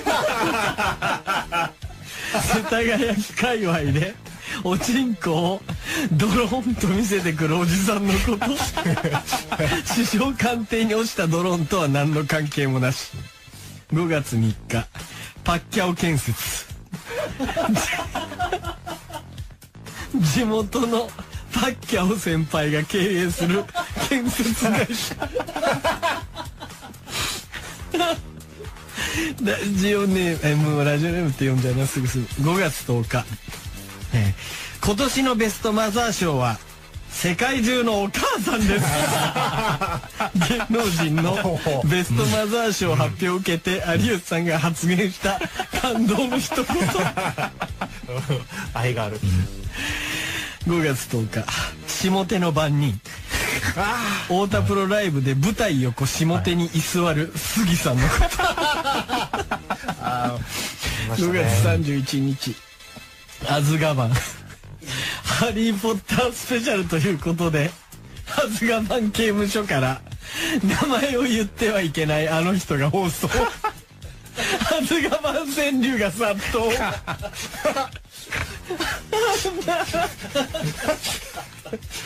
ああこういうこと言ったらディメンターがなんか飛んでるなそら。ディメンターたちが今空飛んでかんないけど、えー、6月21日マッドマックス戦。糞尿をまき散らす電車が走る路線のこと 上りのマッドマックス戦最強だから。ラジオネーム。笑っちゃってくだらない。あーラジオネームラジオネームって言っちゃうすぐ7月5日、ナッシングにしよう。有吉さんが目撃した外資系の男が使っていた言葉。そうだそうだ7月19日牡蠣のドロッとしたような新国立競技場デザインを揶揄した森首相の言葉。8月30日ダヨナー9月6日焼きごて。焼きごてを当てられ過激な記事を書くことを強要されているネッタ ネット記者たちの実態を有吉さんが暴露、えー9月13日皮膚水足の皮膚を入れた水にポジティブな気を送ることで作られる水。見た目はスノードームのよう。10月11日言葉狩り、神である有吉さんが出来の悪い人間である金清の言葉を奪い、少しの言葉を与えた事件10月11日分かったボーイ、有吉さんが金清に与えた言葉の中で金清が一番気に入ったやつ。10月18日ユーモア狩り。平子が受けていたとされる罰。10月25日これが千日解放業だ。有吉さんが金木に与えた言葉。11月1日。サンデーナイトラムダッチャハロウィンということで有吉さんがラムちゃんの衣装に生着替えしながら放送。11月8日金清暴力事件。などなど、えー以上です。今年も最高でした。ということでね。この人はまあ、えーエンジェルをあげときますけどね。ねえ。そうですね。だから今年もねやりますかね。だからね。えっとキャラクター祭りでしたかね人気キャラクター祭り まあ流行語大賞まあどっちも混ぜても何でもいいですけども、えーまあ、年末に向けてちょっとやりたいんでまとまなんかまとめてくださる方はなんとなく思いそろそろ思い出してくださると助かりますけどもね。ラジオネーム三平。芸能人がたくさん住んでいる町自由が丘を歩いているとマンションの一室から純白のフリルパンティが落ちてきたので慌てて拾い上げるとそこには可愛らしい文字で「マキ」という名前が書かれていた。むむこれは牧大越のパンティに違いないぞ。と直感した俺はマンションを駆け上がり目星をつけた部屋のチャイムを乱打するとネグリジェ姿の淵立牧越が 醜い顔を出しわしがこんな可愛いパンティ履いてること誰にも言うんじゃねえぞと叫びながら喉輪で窓際まで追いやられたのだが間一髪のところで体をひねり起死回生のうっちゃりで大金星を飾りたいできることならね、やぐら投げで叩きつけてやってほしい。すごかったですね。あげときましょうか。マキって書いてるの、内立真紀子さん、パンティーに。ラジオネーム、ラッパーザキバチョフ。日本刀の切れ味を試させてほしいと言ってきた北川景子に、さすがに日本刀で切られたら俺死んじゃいますよ。と懇願したが、北川景子は俺の意思に反し、日本刀で俺の首をかっ切って、体も毛先切りで切っていったが、何度金玉を切っても切っても壊れず、北川景子が、どうしてこの金玉だけは切れないのと焦っていたので、生首状態の俺は、私の金玉はダイヤモンドより硬いのだよと言って、焦る北川景子を見て、高笑いしながら絶命。した。何言ってんの？全然わかんないけど、あげとくわ。えラジオネーム、うん、思い当たる節。広瀬すずちゃんとジェスチャーゲームを楽しむ僕。お題に悩んだが、うさぎの？ジェスチャーをした可愛い純情なすずちゃんに、クジラの潮吹きのジェスチャーをすることを決意。さっとズボンを脱ぎ、そのジェスチャーをすると、考えた末、すずちゃんが、うーん、射精？と予想外の回答をしてきたので、軽い笑みを浮かべながら、うん、正解と言いたい。うーんわかるかな？わかる。うんわかる。あげよう。ラジオネーム三平。木村沙織さんが、もっと小さいボールで練習しないと上達しないと嘆いていたので、玉袋からさっと金玉を取り出して、もしよければこれをどうぞと献上したところ、沙織さんは、くせしかもベタベタすと叫びながら、俺の金玉を遥か彼方へ弾き飛ばした。その一部始終を見ていた大林素子が、猛ダッシュで金玉を追いかけていって、凄まじい回転レシーブで、俺の金玉を上空に打ち返し、体育館の天井にスポッとはまって、二度と取れなくなりたい。あげときます。以上です。ラジオネーム、水亀座。山崎正義さん、このセロリまたアナルに入れたでしょ。頑張ってみるそういう音だった。やるだけです。つまりは単純に。不器用だ。不器用だな。そういう。あげとこう。ラジオネーム。ごめんねゴメス。角刈りくんという番組が関西で遅れて放送され、その中で、プールの中でおしっこをしたことがある20代女性は49.3%と言ってました。あ、すげえ。有吉さん、これは大ニュースです。こんな僕にも生きる希望が湧いてきました。そうか、そうか。いや、確かに女性の水着は脱ぐのが大変そうだからな。プールの中で用を足していたとしても不思議ではないな。来年の夏は小学生の時に履いていたピチピチの水着を履いて、プールの水を飲みまくるぞ 意気込みがすごいな。かける思いだな。最高ですね。最高。頑張れ。49.3%だって。半分で、だからほぼ半分が。すごい。もう、プール真っ黄色になる。そんなするんですね、でも。応してんだな。ねいい、なんか明るいニュースですね。久々の明るいニュースね。すごかっあ げときましょう。えー、ラジオネーム、レインメーカー。有吉さん、日本一の脚本家、三谷幸喜大先生が公開中の映画、ギャラクシー街道の PR イベントに出席をし、このようなことをおっしゃっていました。えー今まで映画何本も作らせていただいてるが、街を歩いててね、こんなに見ましたよって言ってくれる映画初めて、みんながね、僕を励ましてくれるような感じがして不思議でしょうがないですけど、頑張ってください。落ち込まないでみたいな。待て待て、三谷大先生の作品だろ、俺は映画館に行く金がないから見てないけど、評判が悪いわけないだろそれではここでヤフー映画の、ヤフー映画のレビューを紹介しています。全体評価5点満点中1.83。やめだやめレビューの紹介なんかやめだおい世間三谷大先生が作ったんだ過去の最高の作品に決まってるだろまあ、香取慎吾、綾瀬はるか、優香、遠藤健一に小栗旬。申し分ないキャストだろう。面白くないとか期待外れとかくだらないとかキャストがもったいないとか無駄な2時間だったとかな。金返せとか。お前ら言い過ぎだぞ大先生、次のタイガー、期待しております。ダメなさい。あげときます。頑張れ。ラジオネームブラザーフットオブスティール。ションベン評論家の俺は。何言ってんのそうなんですね。何それ。いろいろあるいろいろあるんですね、いろいろ肩書きが。ションベン評論家の俺は、名前を伏せて飲んでもらいましたというションベンの CM に出演する。品名が隠されたションベンを飲んで吟味。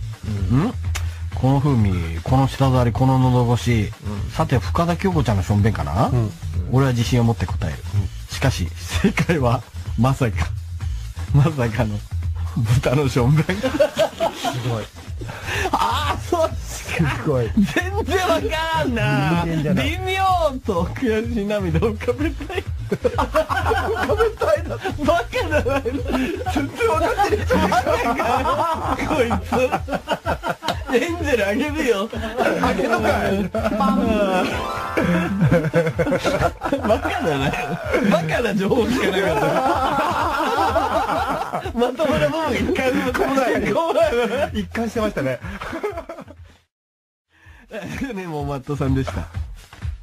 滝川クリステルさんが次のニュースに移ろうと、斜め上のカメラを見ると、そこにあったのはギンギンにフル勃起した俺のチンコ。思わぬ事態に今日疲れ。つ、続いてのチンコです。出現してしまい、顔が赤面。そんな滝川クリステルさんを見て射精し、テーブルの上の原稿用紙をザーメンで台無しにしたい。わかる。すごいな。わかるわかるわかる俺ずっとわかんなかったけどわかるのか。ああ、じゃあこれ負けとこう。パンああ。ラジオネーム三平。こんな素敵な場所でマジな話をするのはどうかと思うけど少しだけ喋らせてほしい。府中の町コンで知り合った自称元ファッションモデルの美香さんへ。君は自分のことを美魔女だと思い込んでるみたいだけど、ものすごくブスなおばさんだ。最初に君を見た時餓死寸前のオットセイが餌を探すために上陸したのかと思ったよ。そのくせ君は年収800万以下の男は婚活しちゃダメ服のセンスがない男は生き方もダサいだの。元彼がバラエティ番組のプロデューサーだったから笑いにはうるさいだの。胸くそ悪い発言を連発した挙句この僕に向かってあんたはこういう場所に来ていい人間じゃない。なんかほざきやがったよね。あの場ではニヤニヤして黙ってたけど僕の腹渡は大正圏のスープより煮えくり返ってるからね。君が積極的にすり寄って電話番号を交換してた自称歯医者の男いただろう？彼はね僕の友達の中でも一番ニート歴が長い最低のクソ野郎なんだよ。歯医者さんだけあってオーラに品がありますよねだっけ。笑わせるよね。肩書きしか見えない節穴で僕の顔面酷評しやがって。君なんか歯医者もどきのクソニートと付き合って奥歯にクソでも詰められればいいんだよ。丸襟のワンピースが死ぬほど似合わないクソおばさんめ。ご清聴ありがとうございました何なんだよこれ。すごいな宇宙の町コンで走り合ったなるほどね。あげときます。僕さジーンとさジンとした来ました。来た。来た。これこれがあるんだよね。これがありますね。笑ってながら来るな。ラジオネームラッパーザキバチョフ。ドッキリでしたって言われても爪をもがれたことには変わりないんだよな ひどい。あげとく大丈夫三平アリーさん、アイラインが濃すぎる小林幸子さんですが、4年ぶりの出場が決まった紅白歌合戦での衣装についてこんなことを言ってやがりました。えー今までの演歌ファンと新しい若い子たち、どちらにもえー喜んでもらえる衣装にします。色は、色は原点に戻る意味で白かな。大きいのは鉄板なので小さくはないでしょうね。大晦日までに間に合うか心配だけど、チーム幸子が寝ないで作ってくれてます。あれ？ヤフーニュースに取り上げられてるってことは、この世の中にはまださっちゃんの衣装を楽しみにしてるバカがいるってことか。嘘だろ、おい。巨大化したおばあちゃん見て何が楽しいんだよ。どうせ気持ち悪い千手観音みたいな衣装着た三河健一とチクリチクチクやり合ってさ、あれ？三河落選してんじゃねえか。ふざけんなよ。口ひん曲げながらサソリ歌えよバカ。もう絶対見ねえからな。最高かよ。あげよ。サソリ歌えよ。楽しみな時期ありましたけどね小学生の時とか。サソリ歌えよ。サソリ歌えあ口ひん曲げてサソリ歌え悪いやつがいる最な高ですね。ラジオネーム、待望。女子校の風下でとんでもない深呼吸を、深呼吸をしているあなた 三木亮介さんですよね。より多く吸うためにそれであれやってたの。そうですだな。いいですね。久々だな。あげとくか。起きてるし。あゆこと浜崎あゆみの歌歌いおばさんが自宅や別荘を売却して下町の賃貸マンションに引っ越したという女性週刊誌の報道に対し自身のツイッターでこう反論をしていました。私普通に青山の自宅に住んでるし、うちに遊びに来たらいいのに。有吉さん、女性経験がない僕には分かりづらいのですが、これは試されていると考えてよろしいでしょうか。スウェーデン食わぬは男の恥。ビッチの誘いを断るのは童貞の恥です。東京都港区の世帯数は約13万。うち、青山の世帯数は約2万程度。1000人の童貞が集まれば、1日20件のローラー作戦で潰せます。各地、好みの変装で青山ポチにごご参集ください。花崎さんマンションの近所で青いシャツと帽子を身につけた森末真二風の中肉中背の男がいたら僕です。青山でお会いしましょう。犯罪犯罪予告ですよそんなものは。最低ですね。そういうことやらない代わりにパンあげときました 約束だぞ。はい。ラジオネーム江野の妹子、教室の掃除当番がゴミ捨てを誰がするとか揉めていたので、いいよやるよって言った俺、しかしクラスのみんなはどうせお前このゴミあさって女の髪の毛食い荒らすんだろこの変態。と言われたのでと言われたので、お前らの推理力にはお手上げだぞ。と言ってペロッと舌を出したい。最高。わかる。え？すげえわかるわ。ペロって舌を出したいめちゃめちゃわかるわ。めちゃめちゃわかる。俺同級生女の子ゴミ箱にガムプッて捨てたら俺ずーっとそわそわしてたもん。教室だ。みんなあ開かねえかな。これあげとこう。え？どうしだうしだろこれラジオネームケツ出しエッフェル塔。ここはカジノ。俺は相手の集中を邪魔するため全裸でポーカーに挑む。プレイヤーは俺。黒木瞳。宮沢りえ。俺は手札がバレないようにポーカーフェイスを貫いたがしかし何度勝負しても負け。負け。負け。俺はたまらずふざけるな!どうして俺ばかり負けるんだ!一回も勝てないじゃないか!大損をこいて気が動転し暴れ回る。するとビーチフラッグのように飛んできた二人の髭を生やした警備員に俺は取り押さえられ、ずるずると引きずられていく中、髭警備員の一人がこう言った。坊主、何のための全裸かわからんが、いいカードを引くたびに勃起して我慢汁まで出して、それじゃあ手札がバレバレだ。まったく。そ、その声は、谷村新司さんそ、それじゃもう一人は、坊主、いいカード引いても、糸引いてるようじゃダメだな。でもカジノ来てくれて、サンキューと、堀内孝雄。堀内さんね俺を慰めるようにアリスのタイガーアッパーカット全裸で現れた俺を前に七尾さんにゴローバルポーズをしていただき肛門に手首がすっぽり入る勢いで浣腸してもらい引き抜いた後の悪臭を嗅いだ七尾さんに「やっべえぞ!」って言ってもらいたい。流行り入れすぎだ流行り入れたね。あげとこ若田ボーイが入ってないですね。ううるさいな。黙ってなさいよ。ラジオに起きてるし。本庄まなみさんと中江ゆりさんとアンさんが静かなカフェで本を読みふけっています本の途中にお気に入りの箇所があると彼女たちは彼女たちは全裸になった俺のチンゲを引きちぎり付箋の代わりにページに挟み込んでいくのです読書好きな彼女彼女たちのことですから夢中になって一度に思わず4、5本むしり取ってしまうことも。あ、あ、アンさんの爪が玉袋に刺さりました。パイパンになったところで今日の読書は終了。股間のヒリヒリした感触と本の余韻に浸って、そっとチンコをしごきたい。文学的だな。ちょっとなんか、赤毛のアンのようなね。なんかちょっとカナダの島の光景が思い浮かぶような。ちょっとこれいいね。文学的だね。そうですね。うんなかなかいいじゃない。あげときましょう。えーラジオネームおまっとさんでした。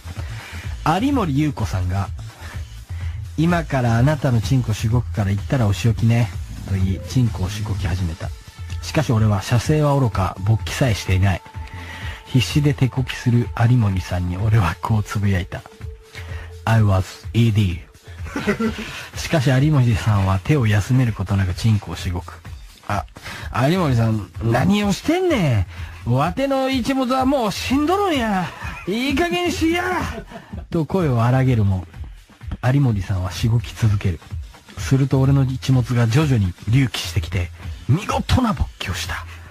そして有森さんは俺の目を見つめこうつぶやいた。人生はチョコレートの箱。開けてみるまでわからない。その言葉を聞いたと同時に射精をし 有森さんの顔を汚したい俺 これが一番来た お前も好きだな。フォレストガンプの名言もね取り込んで。本当にあげた子じゃ役が好きみたいだから。えーラジオネーム満腹亭稲荷。お台場のお台場の湯婆婆こと安藤優子が情報番組の中で紗栄子が総資産2000億円の男と交際発覚のニュースについてこんなことを言ってやがりましたお相手の方の写真の何十倍も見出しの2000億って文字が大きいわけですよ。さえこさんは2000億円と付き合ってる感じですよね。いいぞいいぞそのばもっと言ったよね正規に札束詰め込んでるとかな。人の顔に年収の数字が見えるとか。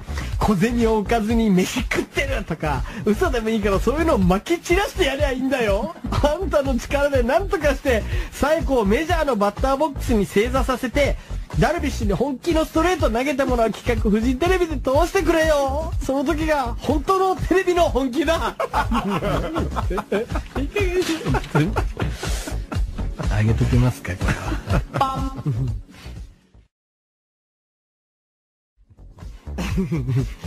妖怪きなこじじい。有吉さん。えー、現代語辞典に載せたい言葉。みっそもない意味。みっともないのにかかわ、みっともないのにもかかわらず、自意識が低く、反省の全くない、みそののような横柄な様。でおなじみ、みそののお嬢様が、また例のクソ長いゲロブログで、また長々と言い訳を吐き散らかしていました。以下一部抜粋。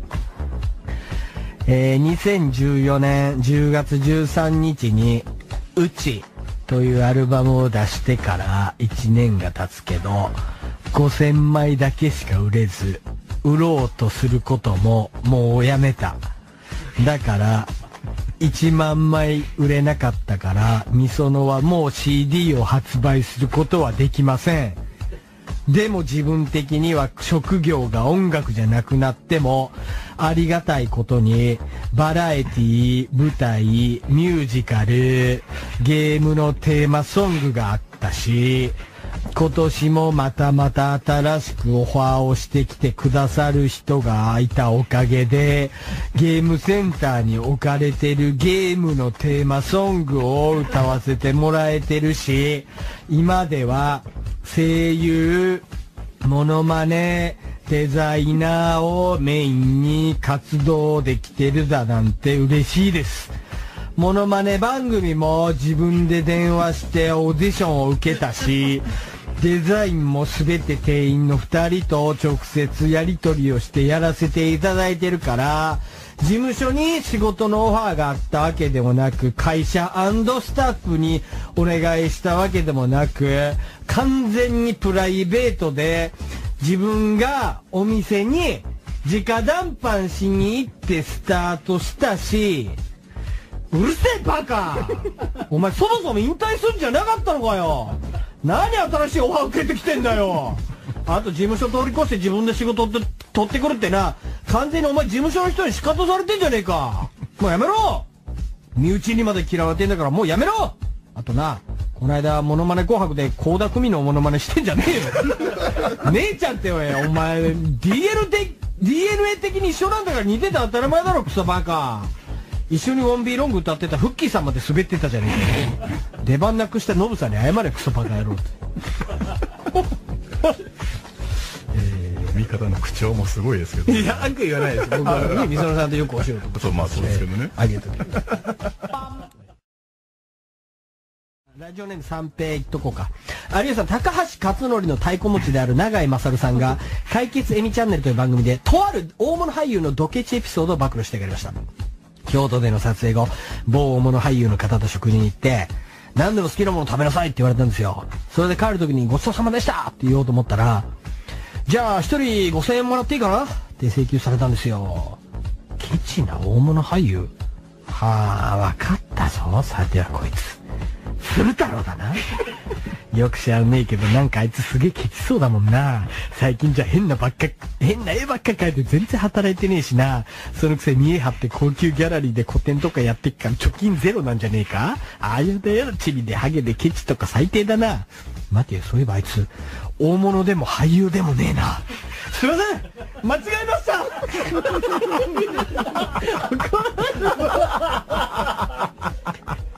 あげときます。以上です。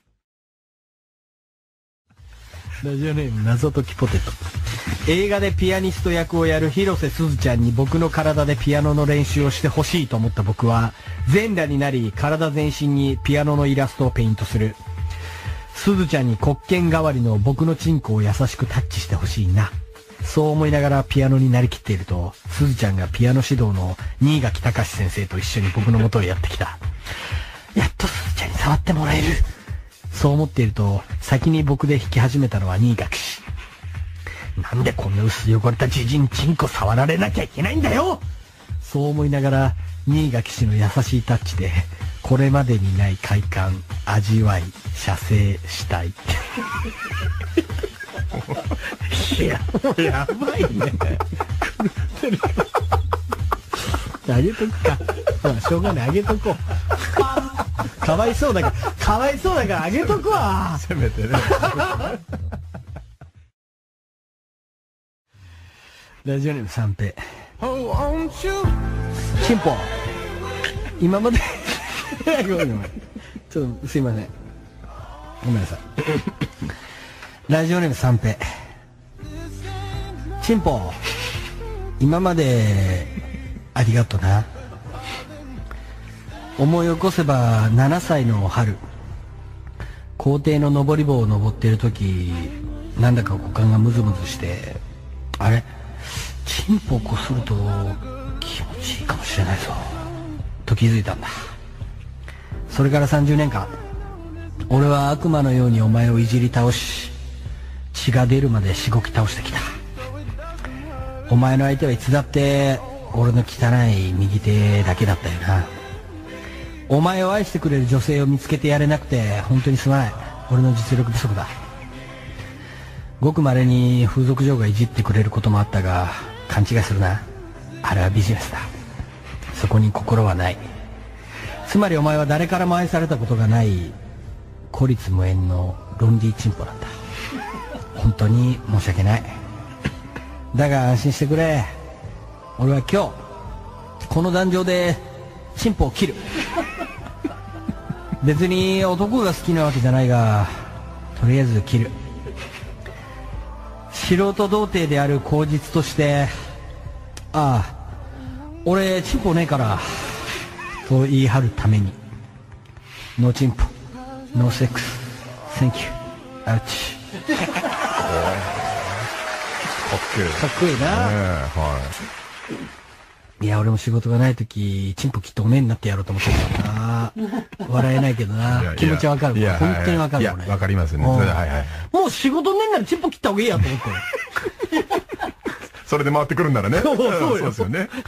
チンポなくても生き生きていけるけど、仕事なかったら生きていけない新しい快感あんじゃねえかなって俺模索してたからね。なるほどね。もうオナニーにも飽きてね。チンポ切ることによって新しい感覚が。1ヶ月家いるんだからあ飽きちゃうんだよねこそうか。チンポに。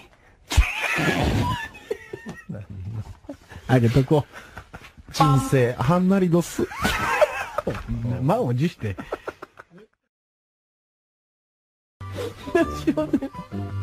青コーナー赤松。せせんでよしさん元気が。せんでよしさんは喧嘩強えっきゃ出してさ青森県の喧嘩最強の三重芝紹介するじゃん。まず一人目は田中よそだけ。これだけは青森捨てて北海道さ行ったキャラメル小僧だ。でも切れたらおっかねえぞ。笑いながら殴ってくんで。二人目よし行くぞ。この人だば本当はすんげえんだで。いろいろ諸説あるけれど日本のラッパーの元祖だで。女も好きだし酒も好きだしふざけてばっかりだけど切れたらおっかねえぞ真顔で膝入れてくんで。いてえぞ。最後は、青文字で最強の稲カッペ千里吉さん、カッペだで？いや、つえつえ、ハエド決着。すんぐやられんど、カッペに。ま、カッペだば、負けたの、見事、見たことねえじゃ。とりあえず東北ではナンバーワンだべな。出して、千里吉さん。今度青森さある三角形のおかしげんた建物をアスパムでカッペイと勝負しねえが待ってるして来て今朝前ねえよ、そんなこと。これさ山が合ってる？合ってんの結構。合ってんだって。結構合って千る。里吉さんも合ってないでしょいやそうあれだけど待ってるして来て今朝前セパな。ほん合ってんだってすごいな。青森奥が深いねやっぱり。あげとくか。ああ面白い千里吉さんって誰なんだよ。俺のことだろうけど多分。